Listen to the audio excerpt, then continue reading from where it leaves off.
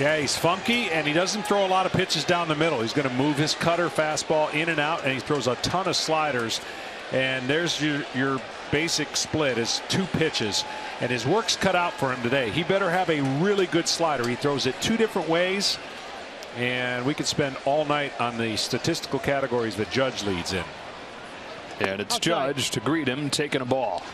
Judge is crushing fastballs. Opposite field power is something he's so known for, but he's going to have to stay off the slider. I would think Swarmer's going to want to get him to chase the slider off the plate.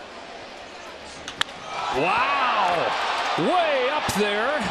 Back goes Happ. It is gone.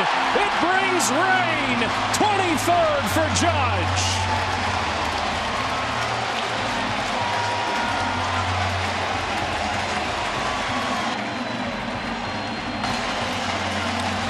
Well, like I said, we could spend all game on Judge and what he's been able to do, but he is mashing fastballs. And I thought going into this game, Swarmer might throw two fastballs to him and two at bats. Well, he threw two of them in his first at bat, and he didn't get it back. On pace to match Roger Maris, 61 and 61. And he actually probably just jumped that pace a little bit with his 23rd of the year.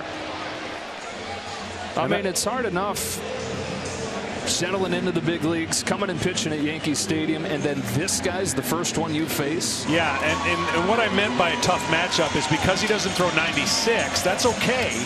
He just has to be perfect with his fastball placement. I thought today we'd see a record amount of sliders out of him based on this lineup. Even though they're a good slider hitting team because they face a ton of them, it's still the best pitch he'll have for success if he gets through this lineup.